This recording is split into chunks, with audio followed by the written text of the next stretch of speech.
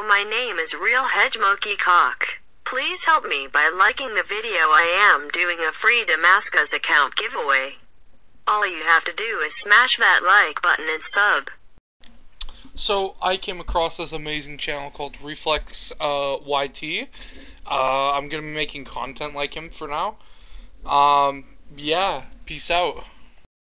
What's up, gamers? It's your boy Hedge, and today I'm gonna be teaching you guys how to get Damascus. Now, I made a video just like this, uh, like a few days ago, but the thing is, everyone was disliking it because I think it was patched or something.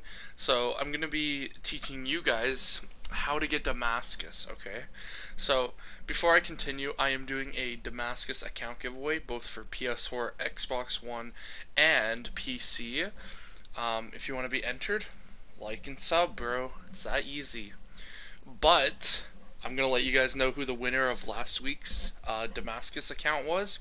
It was Gay Boy 42. You have won the account. Uh, congrats. And yeah, let's go on with the video. Now for the first step, all you want to do is you want to go on this, uh, what's it called? You want to go on this video game called Fortnite. That's the first glitch, okay? Second part, you want to get your mom's credit card. It has to be your mom's. It can't be yours, okay? Whether that's you sneak it or you have to let you have to somehow get your mom's credit card, okay? Now once you get your mom's credit card, make sure you get out of Fortnite and then you go back in, buy a bunch of V-bucks, okay? This is this is very key on the steps, okay? So once you're done that, um, what you want to do is you want to go on Call of Duty and you want to download um, Warzone, okay? If you have Warzone already downloaded, make sure you delete it and then reinstall it. Then once you reinstall it, what's gonna happen is after everything's like finished, you know, with all the gigabytes and stuff like that, once it's done, you will have Damascus camo.